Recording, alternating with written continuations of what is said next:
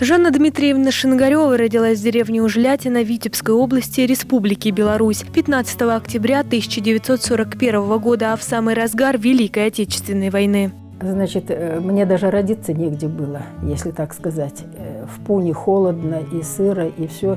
И маму привели в тот дом, который еще сохранился на окраине. И там вот я родилась в этом доме. По словам женщины, выжить в таких суровых условиях ребенку было тяжело. Поэтому все запасы, которые оставались у людей, отдавали малышу. Кто приносил зерна немножко, кто мучички маленький, там мешочек. Вот таким образом я выжила, потому что там бы ребенку вообще выжить было бы невозможно можно. Поселение, в котором родилась маленькая Жанна, находилось среди белорусских лесов и болот. Мимо Ужлятина проходили железные и шоссейные дороги. Как рассказывает женщина, передвижение немецких войск было постоянным. Они останавливали буквально поезд, когда увидят, что деревня, и бежали грабить.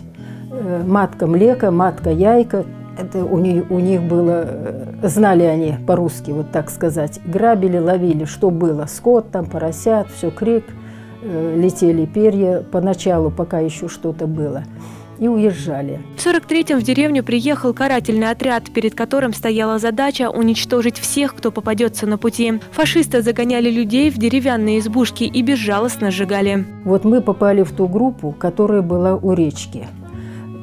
Там наверху, где, были, э, где был дом, там немцы сожгли людей – а эти полицаи здесь охраняли у речки. И они ждали, видимо, немцев. А немцев все нет и нет. Один полицай ушел, потом второй, а потом все ушли. И народ бросился бежать в лес к партизанам в лес, болото убежали. После войны Жанна Дмитриевна и вся семья вернулась домой. В 1948 году юная Жанна пошла в школу. Закончив 10 классов, уехала в Новосибирск. Там поступила в институт на юридический факультет. После вышла замуж и в 1969 году вместе с супругом приехала в наш город.